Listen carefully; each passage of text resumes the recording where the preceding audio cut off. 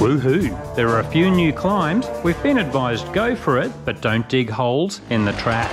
Yeah, that's good. You're over the tree root now. Property owners usually don't like erosion wrecking their slopes, and avoiding wheel spin is always a plus for us. It means working harder to find traction and thinking our way up technical climbs instead of using brute force. As always, you want maximum weight on that rear wheel to create a big tyre patch. You can see Scott is barely touching the ground with his boot. Too much weight through your leg, you lose a lot of traction. Slipping the clutch is a critical skill. Too many riders just drop the clutch and start digging holes instead of going forward. So don't rush everything. Stop and think your way through. Otherwise, you will wear yourself out way too fast.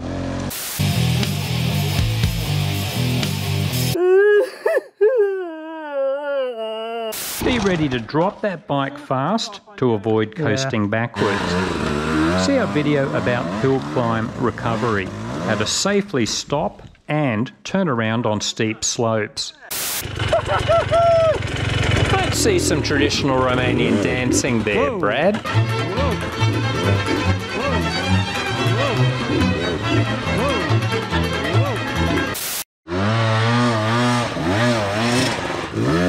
Scott uses his clutch to hold the bike in place. Check what is in front of your rear wheel. Scott hits an exposed tree root here, but wasn't aware of it. clean me. There's nothing wrong with getting off to push your bike or lift it onto a better line. The best hard enduro riders do it. you can too. Be ready to throw the bike. Too many riders don't let go of the bars, loop the bike out, and it can cartwheel all the way back down. Don't be afraid to drop your bike. Scott could possibly dig a trench here and push the bike up, but it will wreck the track fast for others.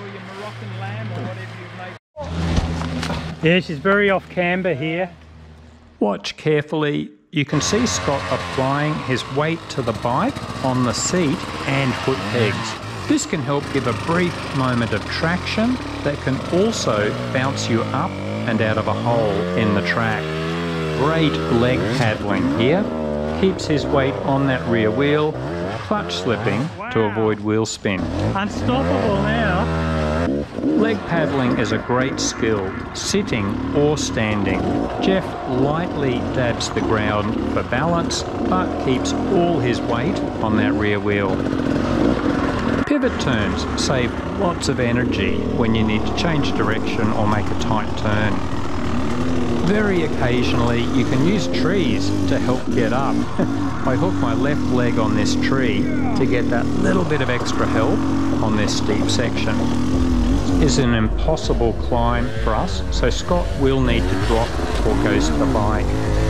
Nobody likes to deliberately throw their bike away, but on very steep slopes it can be the safest option, and sometimes the bike might just make it to the top. See our training vid about ghosting. I don't think it's going to happen, Jeff. We've got a pile of relevant training vids. See our playlist of hill climb training vids on our YouTube channel.